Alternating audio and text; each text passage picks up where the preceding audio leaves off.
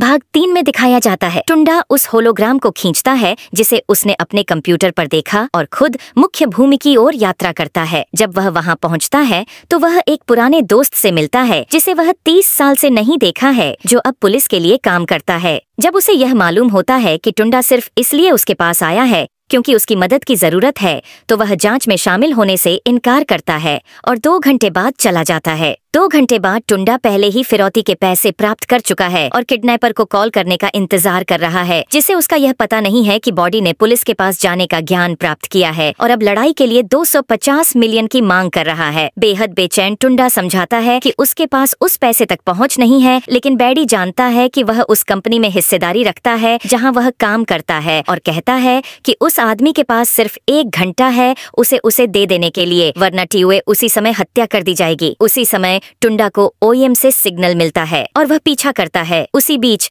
कोल कचरे में है, जहाँ वह शनिवार से छुपने की कोशिश कर रहा है, लेकिन अंत में तो सांप आता है और शनिवार के खिलाफ युद्ध शुरू करता है, जो उसे अपनी चाबुक से हटाने की कोशिश करता है। उसके प्रतिद्वंद्वी को दूर फेंकने की क्षमता वाले ऊर्जा के धमाके प्रस्तुत करने के बाद, ओएम कोल के पास आता है और पूछता है, दुआ का सत्य है कि सर्प एक रोबोट है, जिसमें कृत्रिम बुद्धिमत्ता है, जो टुंडा द्वारा बनाया गया है। ओएम ने मानव दुनिया कैसे काम करती है और टीयूए की संरक्षा के लिए उसे क्या करना चाहिए? इसके बारे में थोड़ा जान लिया। लेकिन अब जब लड़की को अपहरण किया गया है तो सर्प हरा भरा है और नहीं जानता कि वह अपनी मिशन कहाँ से शुरू करे। कोल से मिलने के बाद रोबोट जानने का प्रयास करता है कि ट्यूए कहाँ है, लेकिन लड़का दावा करता है कि शनिवार ही इस जानकारी को रखता है।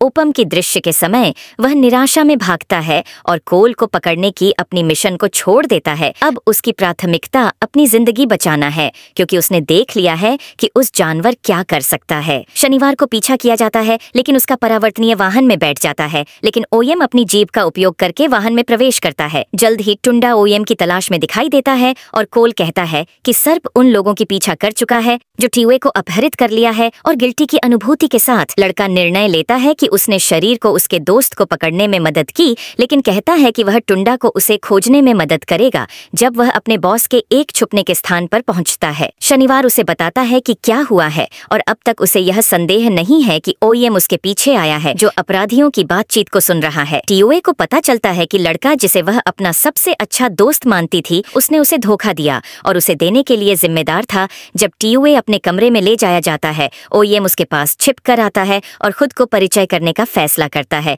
तत्काल खुशी जाँच करने के लिए क्या हो रहा है और लड़की कहती है कि उसने एक चूहे को गुजरते हुए देखा है। जब महिला छोड़ देती है तो ओएम फिर से प्रकट होता है। उसके पास केवल चार परसेंट बैटरी शेष है, लेकिन वह अब भी टीयूए के साथ संवाद कर सकता है। जानवर यह खुलासा करता है कि उसे उसको बचाने के लिए ए मोड में प्रवेश करने की आवश्यकता है, लेकिन यह कार्यात्मकता जब तक कि सर्प को रिचार्ज नहीं किया जाता है, तब तक सक्रिय नहीं की जा सकती है। टुंडा अपनी बेटी को कहाँ ले जाया गया था, उस स्थान को खोजता है। समस्या ये है कि वहाँ बहुत से अपराधी हैं, और टुंडा जानता है कि वह उन सभी से अकेले में नहीं जीत सकता है। इसलिए हर बार जब वह बॉडी के पास जाता था लड़का अपना सेल फ़ोन रिकॉर्डर चालू कर देता था। और इसके कारण वह उसे दोषी ठहरा सकता था। उस रात को कोल अपराधी को फ़ोन करता है और उसको उनके अंतिम बातचीत की रिकॉर्डिंग दिखाता है। टुंडा फिर बॉडी से अपनी बेटी को लौट आने का आदेश देता है। अन्यथा रिकॉर्डिंग्स जारी की जाएँगी और पुलिस को सौंप दी जाएँगी। गुस्से से पराधी फ़ोन को काट देता है और इस स्थिति का जिम्मेदार शनिवार को ठहराता है, क्योंकि उसने कोल को पकड़ने में नाकामी हासिल की है।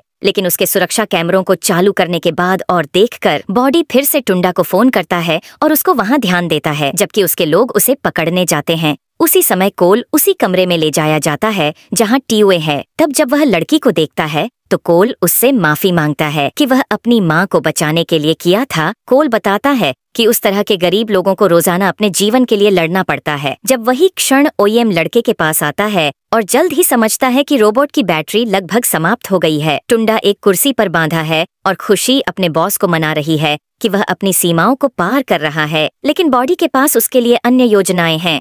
आदमी ग्रीनवुड टेक के कर्मचारियों और ग्राहकों की पूरी सूची चाहता है। टुंडा कहता है कि यह असंभव है, क्योंकि इस जानकारी तक पहुँचने के लिए उसे कंपनी के सुरक्षा प्रणाली में हैक करना होगा, इसलिए बॉडी इंजीनियर के घर जाता है और टुंडा को कैदी बनाता है, जब उन्हें आक्रमण के बारे में चेतावनी दी जाती है मिस्टर जी। और कोल की माँ छिप जाती हैं। दरवाजे के माध्यम से वे देखते हैं कि कोल और टीवे भी बंधक बनाए गए हैं। बच्चे शौचालय के कमरे में फंसे हुए हैं और कोल उन्हें बाहर निकालने का एक तरीका सोचने की कोशिश करता है। लड़का जानता है कि उसे रोबोट को चार्ज करने का एक तरीका ढूंढना होगा, ताकि वह ए मोड को सक्रिय कर सके, लेकिन इसके लिए उसे कार्यालय से चार्जर प्राप्त करना होगा। फिर टीवे रोने लगती है और दरवाजे की रक्षकों का ध्यान बाँध देती है।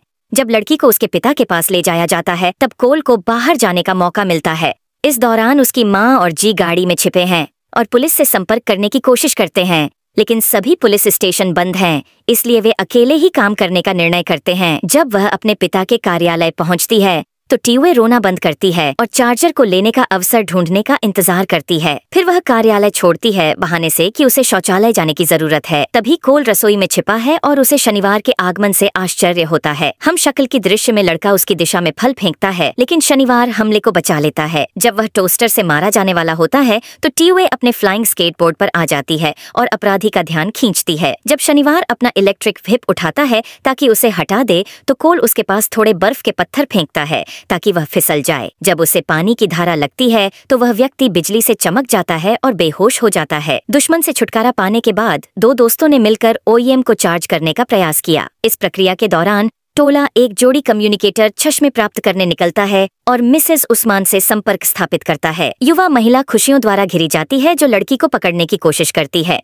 हालाँकि महिला उसे पकड़ सकने से पहले ही ओएम प्रकट होता है और आखिरकार एएम मोड को सक्रिय करने में सफल होता है। युद्ध प्रारंभ होने से पहले महिला एक मैकेनिकल आर्म को सक्रिय करती है, जो उसे युद्ध के दौरान मदद करने के लिए है। हालाँकि कुछ मिनटों के भीतर ही युद्ध की प्रारंभिक दक्षिणा में खुशियों को यह अनुभव होता है कि वह अकेले उसे परास्त नहीं कर पाएगी और उसे बॉडी के अन्य हेंचमैन की मदद की मांग करती है। जब लोग प्रकट होते हैं तो ओडिम टीओए को छुपाने को कहता है और लड़की ऑफ़िस में वापस भाग जाती है। जहाँ वह अपने पिता को हमला करते हुए पाती है। इंजीनियर ने अपनी मेहनत से ग्रीनवुड टेक्स सिस्टम में हैक करने का प्रयास किया, लेकिन अपने कार्य में विफल रहा। डरे हुए टीओए ने पूछा कि बॉडी लोगों से पैसे क्यों वसूलता है और उसकी मदद से अपराधी का इस्तीफा रिकॉर्ड करने में सफल होता है। ये वीडियो मीडिया पर साझा किया जाता है और लागोस के हर व्यक्ति को इसे देखने का मौका मिलता है। कुछ ही सेकंड में पुलिस कारें घटना क्षेत्र पर भेज दी जाती हैं और बॉडी भागने की कोशिश करता है, लेकिन ओइम उसे आकर्षित करने के लिए एक पावर ग्रिड का उपयोग करता है। जब अपराधी को जेल भेज दिया जाता है तो कोल अपनी माँ से मिलता है